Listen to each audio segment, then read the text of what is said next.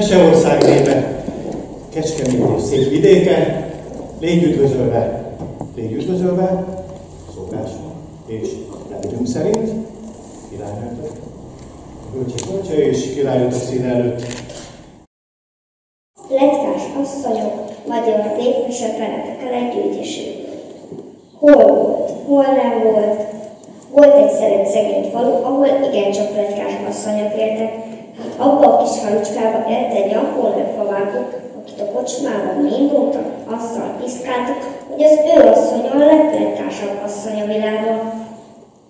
Azt egyszer igencsak megelégette, és elhatározta, hogy bemutatja az egész falunak, hogy bizmás asszonyok és petkálnak annyit, mint az övé. Végül fogadtak egy liter No, hazament Jakó, egy szót sem szólt a feleségének. Este szép csendesen lefeküdtek. Reggel úgy kelt az asszony, kimentetetni az állatokat, Jakó addig kilapapodott a kamerába. Később még az asszony, hát látja, hogy Jakó még az ágyba. Te Jakó, veszed teremtette a fajtádnak, hát még most is lágyban lostágodsz, már hasonlósít a nap. Jaj, asszony, sokat Jakó. Én már mentem az erdőre. Te beteg vagy. Olyan dolog történt velem az éjszaka, hogy nem merem neked megmondani. Édes drága Tudod, hogy én mindig minden titkodat megőriztem. Soha senkinek el nem mondtam. Megőrzöm hát ezt is. Nyög már ki végre, hogy mi lehet Jankó. Az emberre odahajol az asszony fülihez, és belesúgja. Az éjszaka tojta. Mit csináltál? Tojta. Az mégis mit? Hát tojást.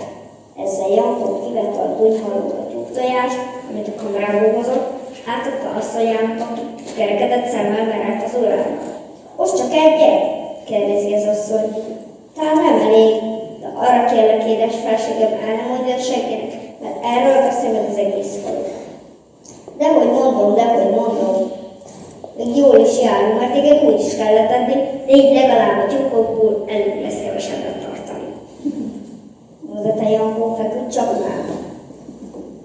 Biztos ki fáradtál ebben a nagy munkában. Teszi a dolgát napközben az asszony, egyre csak Jankó esete járt a fejébe. Olyan nyírókra letanult disznókat, és észrevett a szomszéd gyulcsát, értében és betkálta neked dolgot. a Jankó tojt. Mit? Tojást. Kettőt. Gyulcsa. A szomszéd a szájhoz kapott, meglepődésében még az is kinyert, és fuvatkozva búcsúzott el Marcsától, hogy ő vizet senkinek el nem mondja. Hát, hogy megyen befelé Júlcsa, ráköszön a túlsó szomszédasszony és a kerítés a szélja. Volt a szegény nem bértett titokkal elment a koma asszonyának, hogy Jankó tolt, nem is akármit. Ötöt! De ellenek voltak az órák. Jankó nagy fekvésben megvárva, úgy döntött, elsült el a kocsmába. Be fel a kocsmába, ha minden ember bármilyet úgy, mint a sos látták volna.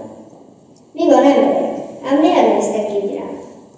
Jankó, hát te itt vagy? Hát itt, itt. Hát mégis hol kéne, hogy legyek? Azt beszéljük a faluba, hogy te százat toltál, és hogy ki is költötted a csirkéket. Hogy 45 érce, meg 45 kapas lett belőle. 10 tojás meg megszámolt. Ezt beszéljük? ezt. Hát ide figyeljetek, cimborák. Én egyet tojtam, de csak úgy tudságolni. De 99-et addig asszonyaitól lettek hozzá. Hát Jankó egy nap alatt bebizonyította, hogy a falu asszonyai egy format legnások. Meg is kapta még aznap este Jankó a literbort, hogy rám fogadtak. És ezt a falut azóta is a pletykás asszonyairól emlegetik.